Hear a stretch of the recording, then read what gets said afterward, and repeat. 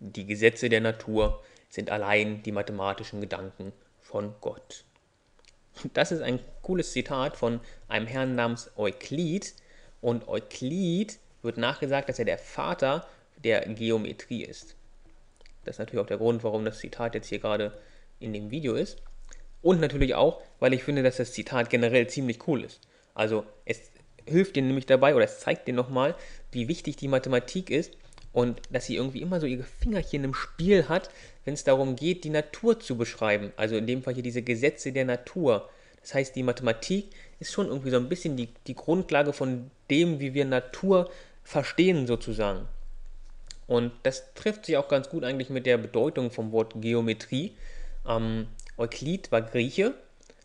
Von Alexandria zeigt ihr natürlich schon, okay, irgendwie äh, Alexandria liegt ja in Ägypten. Das heißt, Euklid hat eigentlich gelebt und gelehrt in Alexandria, war aber wie gesagt geborener Grieche und spricht demnach auch Griechisch. Das hier drüben ist ein Bild von ihm, von einem Künstler namens Raphael, also das hier soll Euklid sein.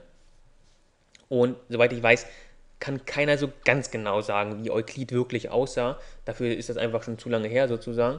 Aber das ist so die, die Annahme von dem Künstler, also von Raphael, wie er ausgesehen haben könnte, als er in Alexandria gerade gelehrt hat. Hier unten siehst du ja, malt er irgendwem gerade was, irgendwelche seiner mathematischen Ideen auf.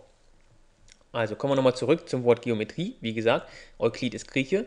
Das heißt, das Wort hat auch seine Wurzeln in der ähm, griechischen Sprache. Geo heißt dabei so viel wie Erde.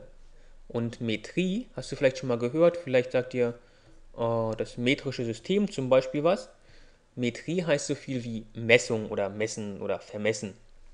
Also Geometrie hat so ein bisschen was damit zu tun ähm, oder bedeutet so viel wie Erdvermessung sozusagen. Das trifft die Sache eigentlich schon ganz genau. Wichtig ist aber, dass du weißt, Euklid, auch wenn man sagt, dass er der Vater der Geometrie ist, äh, hat nicht als einziger oder auch, auch vor allem nicht als erster sich mit der Geometrie beschäftigt. Vor ihm gab es schon ganz, ganz viele andere, ähm, auch die, die sich schon so ganz grundlegende Sachen angeguckt haben, ohne wahrscheinlich zu wissen, dass das gerade ähm, irgendwas ist, was man später Geometrie nennen wird. Zum Beispiel, wenn einer mal gerade durchs Kornfeld gelaufen ist oder so und hat da vielleicht zwei Zweige liegen sehen, die dann so übereinander gelegen haben und daneben lagen noch welche, die lagen dann vielleicht so da. Ähm, dann hat er sich vielleicht gefragt, okay, irgendwie diese Öffnung bei den beiden Zweigen hier, also diese hier oben, die ist ja schon größer als bei den beiden Zweigen hier. Was, was für eine Beziehung stehen die beiden eigentlich zueinander? Oder vielleicht hat er auch irgendwo ähm, weiß nicht, einen Baum gesehen zum Beispiel, der hier so eine Verästelung hat. Und hat sie dann gedacht, okay, irgendwie die Öffnung hier sieht ja schon so aus wie die Öffnung hier drüben. Haben die, stehen die irgendwie bei einem Verhältnis zueinander? Oder wie kann ich das eigentlich beschreiben, was ich hier gerade sehe? Und wieder ein anderer könnte sich gedacht haben, okay, sag mal, wenn ich jetzt einen Kreis habe, wie stehen eigentlich die beiden Distanzen zueinander, zueinander in Beziehung, ob ich nur um den Kreis rumlaufe oder ob ich einfach einmal durch den Kreis durchlaufe sozusagen, also einfach ähm, die, die kürzeste Strecke wähle, um einmal direkt durch den Kreis durchzugehen. Und wie ist das, wenn ich jetzt ganz viele verschiedene Kreise habe, die verschiedene Größen haben? Ähm, sind die vielleicht alle, äh, haben die eine, genau das gleiche Verhältnis zum Beispiel? Das heißt, es gab wirklich viele, viele Menschen, auch vor Euklid schon, die sich mit der Geometrie beschäftigt haben. Aber Euklid hat was ganz Herausragendes gemacht und zwar hat er dieses Werk hier drüben verfasst. Also eigentlich kann man sagen, es ist ein Kompendium und nennt sich Elemente oder die Elemente. Und Elemente, wie gesagt, ist eigentlich ein Kompendium von mehreren Büchern. Um genau zu sein, waren es 13. Ähm, die ersten davon, ich glaube, sechs beschäftigen sich mit der Flächengeometrie und noch ein paar andere mit der Zahlentheorie und noch ein paar andere mit der Geometrie von Körpern. Und Euklid hat sich halt so gedacht, okay, der, zum Beispiel der Herr Pythagoras hat mir schon gesagt, klar, wenn ich ein rechtwinkliges Dreieck habe und davon die beiden Katheten das Quadrat von der Länge nehme, dann ist das genauso lang wie das Quadrat von der Hypotenuse. Aber was er wissen wollte ist, ist das immer richtig? Ist das für jedes rechtwinklige Dreieck wahr? Und deswegen hat er angefangen, das ganze mathematische Wissen seiner Zeit zusammenzufassen, an unglaublich, unglaubliche Leistung, äh, für die wir ihm heute immer noch dankbar sein müssen. Ähm, er hat nämlich mit seinem Werk hier die Grundbausteine der Mathematik gelegt, so wie sie heute funktioniert.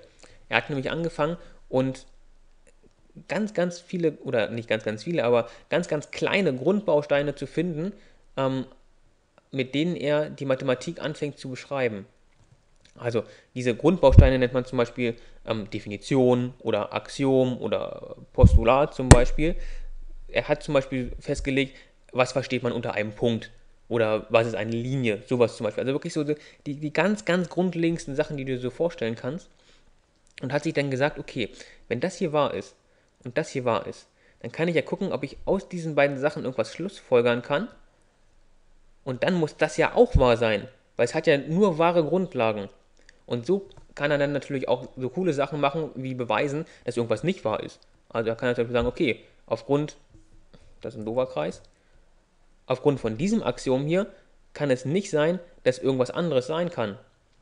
Und du kannst, das kannst du natürlich immer weiterspinnen. Also du kannst dann diese Schlussfolgerung hier zum Beispiel nehmen. Schlussfolgerung kann man auch ähm, Theorem nennen zum Beispiel. Hört sich wieder ein bisschen wichtiger an. Also du kannst natürlich auch dieses Theorem nehmen und noch ein anderes Axiom und daraus wieder irgendwas schlussfolgern. Und solange das halt immer, solange jedes Theorem, vielleicht hast du auch mehrere Sachen genommen, zack, drei zum Beispiel, solange die Grundlagen von jedem Theorem, das du gemacht hast, immer wieder ähm, wahr sind, muss ja deine Schlussfolgerung auch wahr sein. Und er hat halt versucht, das Ganze mit möglichst wenig Axiomen zu machen.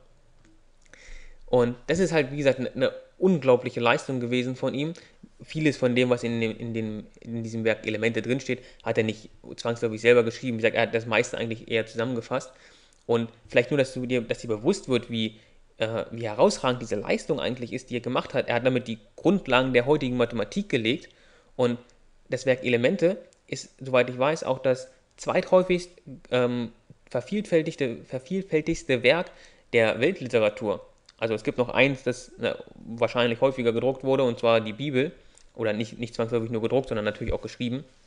Das heißt, du musst dir vorstellen, ähm, als damals zum Beispiel die Buchdruckerei erfunden wurde, haben sich halt gedacht, okay, was drucken wir jetzt zuerst, das brauchen wir ziemlich häufig, ja, alles klar, machen wir doch die Bibel. Und dann kam natürlich irgendwann die Frage, ja, okay, jetzt reicht es aber auch langsam, jetzt wollen wir noch irgendwas anderes drucken, was nehmen wir da? Äh, ja, nehmen wir doch einfach Euklids Elemente. Und ich weiß nicht, ob ich es gerade schon gesagt habe, aber Euklid hat gelebt 300 vor Christus. 300 vor Christus und man hat mehrere hundert oder, sogar tausend Jahre lang ähm, sein Werk als Grundlage dafür genommen, ob jemand sozusagen intelligent ist oder nicht. Also man hat halt gesagt, okay, ja, du bist jetzt hier gesellschaftlich anerkannt, äh, wenn du das Werk von Euklid, dieses Werk Elemente gelesen hast und es auch natürlich auch verstanden hast. Das heißt, er hat wirklich die Grundlagen der Mathematik geschaffen, wie wir sie heute kennen. Und das ist auch wichtig, das ist nämlich das, was wir jetzt auch in, der, in den zukünftigen Videos machen wollen, was ich dir zeigen möchte, dass was du jetzt in der Arithmetik gemacht hast, ist im Endeffekt erstmal nur Berechnung gewesen. Du hast halt ähm, gelernt, wie man Zahlen addiert, multipliziert, dividiert und so weiter. Und wie die Mathematik aber eigentlich funktioniert, ist so, wie Euklids gemacht hat, mit diesen mathematischen Schlussfolgerungen, dass du irgendwelche kleinen Grundbausteine festlegst und von da an anfängst, logische Schlussfolgerungen zu machen, ähm, die dann automatisch ja auch immer wahr sein müssen. Und dabei will ich dir nämlich helfen, deine Fähigkeit auszubauen, logisch zu Schlussfolgern. Und wie gesagt, dabei hast du sogar noch das Glück, als kleines Nebenprodukt sozusagen, lernst du auch noch, wie die Geometrie funktioniert.